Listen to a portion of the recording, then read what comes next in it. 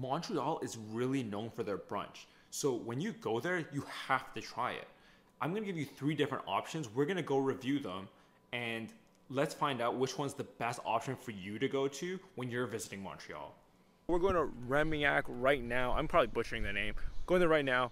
Look at this interior. It's so cute. It's like little cafe vibes. I love it. And got a cappuccino.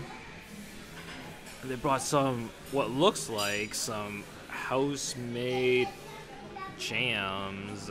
So with your meal, they also give you bread, and the bread looks fantastic. The crust is so crisp on the outside, and it looks like they buttered it up super nice before putting it in the oven.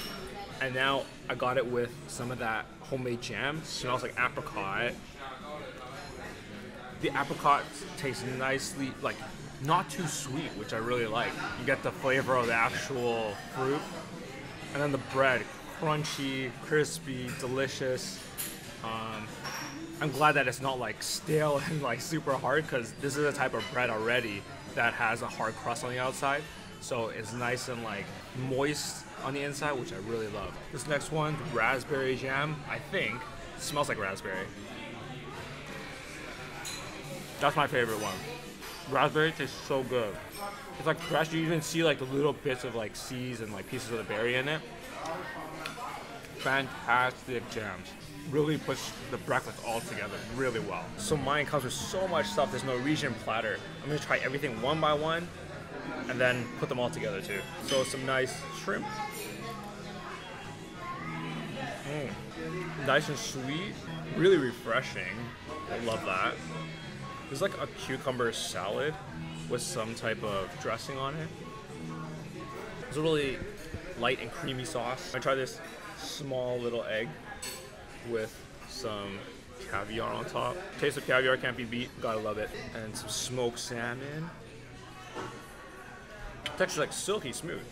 I don't actually know if this is salmon. It might be another fish, but it's smoked really nicely. There's a you like really get that smokiness out of the out of the fish, and then the texture is great. I don't know what more I can say. Also came with some nicely buttered bread. The bread itself has a nice taste The butter just complements it. Really nice. Now it's time to put it all together. So I got my sandwich, put all three of those lovely things together.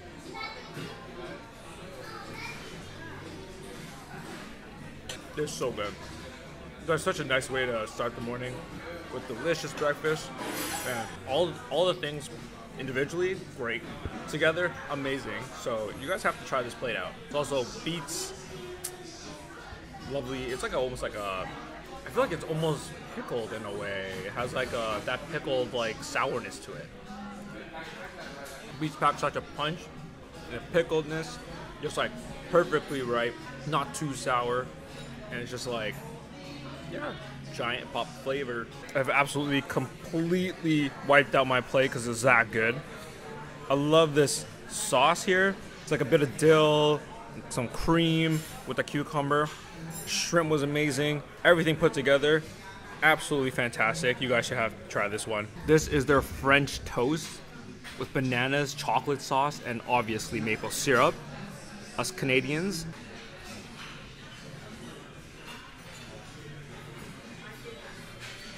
The bread's so fluffy and soft. Oh my god. Look at the inside of this bread. Looks so delicious. Got all of the French toast. Oh my god. That bread, so fluffy. Pretty much like melting your mouth when you eat it. Got a nice like caramelized crust on the outside of the bread. Maple syrup, fantastic, can't ever go wrong. And freshly cut bananas on top to make it seem a little bit healthier. Add that banana flavor. Honestly, this this French toast knocks it out of the park. They've done a fucking fantastic job. All right, so we finished at Lemeac, and honestly, it was an amazing brunch spot. Holy, like I'm really impressed by it. Um, it's better than the one like most of the ones that we had in Vancouver. So actually check out that video. I'll link it up here somewhere. But um, yeah, it's better than most of them. Maybe not Cafe Medina because I like savory things, but everything that they had, the Norwegian platter, the French toast, all were super, super good. And honestly, I can't get enough of it. I could eat those again and again every morning for brunch. Like, it's that good. So if you guys are ever here in Montreal, you guys should definitely check it out. It's totally worth the time.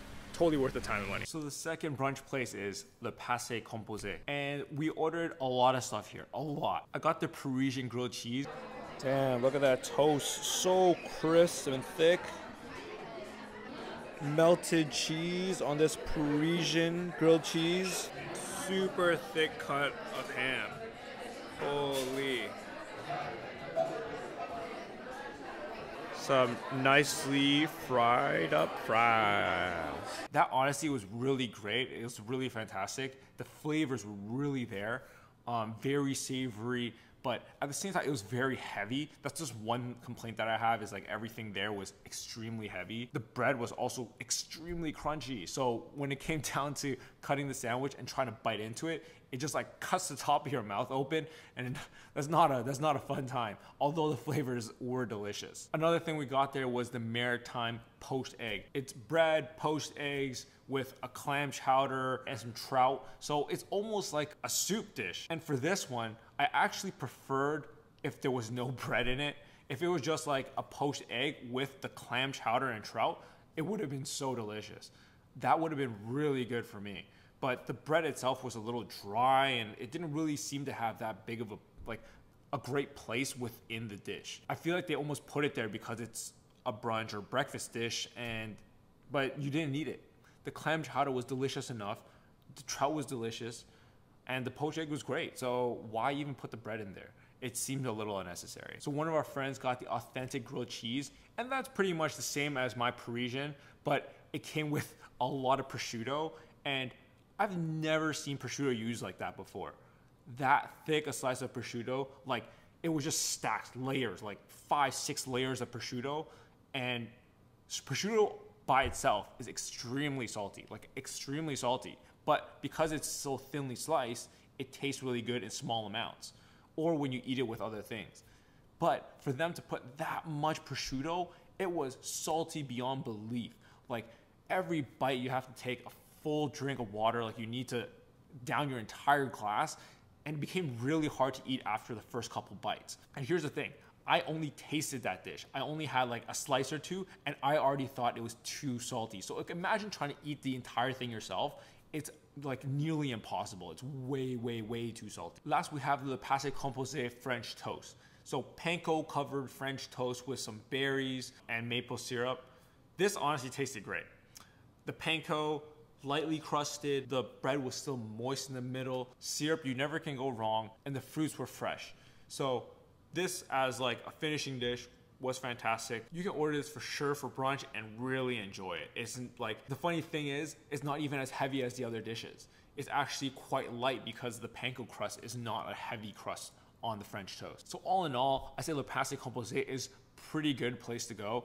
The flavors are there just maybe stay away from the authentic because you're gonna die from the amount of salt that's in there. Everything else there was pretty good. Th- that maritime poached egg, that clam chowder part of it, very, very delicious, and I love that. And now let's move on to the next one.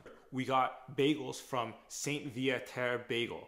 Might be butchering that. So here we ordered the traditional and the smoked meat. So traditional with smoked salmon, onions, tomato, and capers, sour cream, and smoked meat sandwich. You probably know what that is. I've got to say though, they don't put enough filling in there, especially the traditional.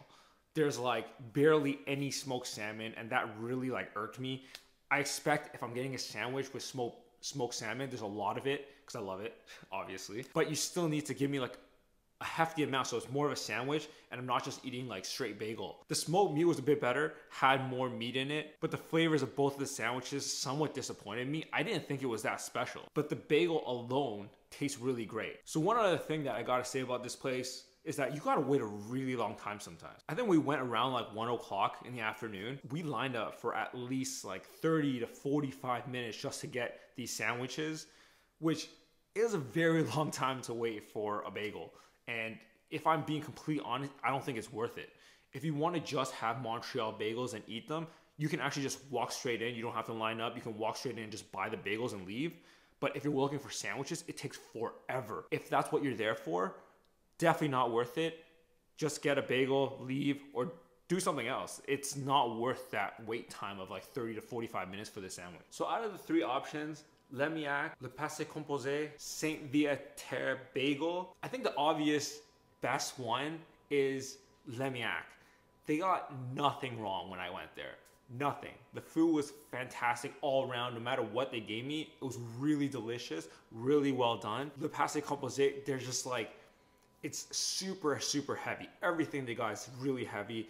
And there are things there that I didn't really particularly like. And then the bagel was just like pure disappointment, not enough filling, the flavors weren't there. Um, there's nothing special about the toppings that they put into this bagel. The bagel itself is good, but the sandwich, not that great. So if you're gonna go and get brunch in Montreal, check out Lemeac. It's the best one.